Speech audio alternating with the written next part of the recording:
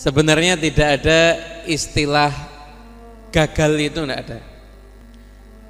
Dan di mata Allah Subhanahu wa taala semua orang yang sudah berusaha itu sudah berhasil. Karena Allah berfirman wa anna sa'yahu saufa yura.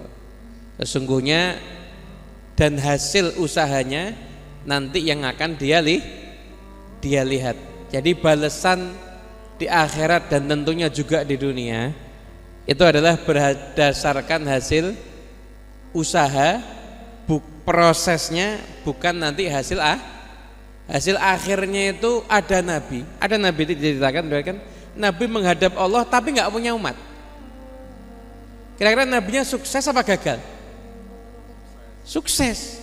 Kenapa? Karena udah menjalani proses untuk mencari um umat. Gagal tuh nggak ada kita yang udah kerja, udah menjalankan proses, berarti sudah berhasil. Cuma keberhasilannya di sisi Allah dan di sisi orang-orang yang beri, beriman. Ya, semoga insya Allah kita semua tergolong menjadi orang-orang yang berhasil di dunia dan di akhirat. Amin.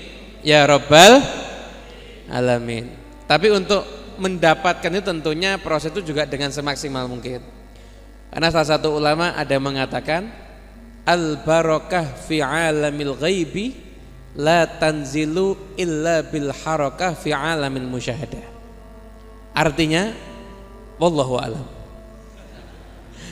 Artinya al barakah keberkahan yang ada di alam yang enggak kita lihat alam gaib. Yang dari Allah yang dari orang-orang soleh yang dari para malaikat yang ada di alam gaib itu tidak akan turun kecuali dengan adanya harokah gerakan di alam musyahadah di alam nyata ini. Makanya Nabi Muhammad ketika perang Badar gak cuma doa minta turun malaikat. Lo cuma Nabi Muhammad setiap saatnya itu doa agar malaikatnya itu tuh turun selesai. Cuma ketika itu kita tidak pernah belajar artinya berjuang kalau itu. Rasul ya siapkan pasukan sebaik mungkin siapkan mental sebanyak mungkin. Kemudian setelah itu berdoa semaksimal mungkin. Nabi Muhammad berdoa semaksimal mungkin.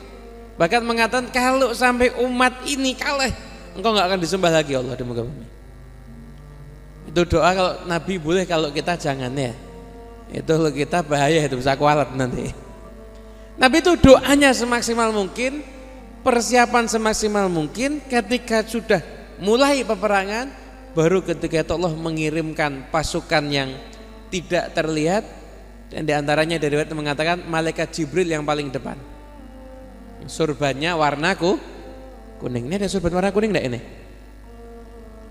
Oh masya Allah.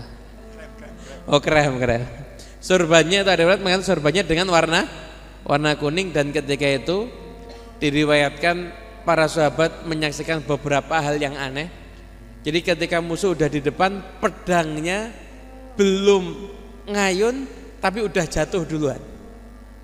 Dari itulah campur tangan Allah Subhanahu wa taala.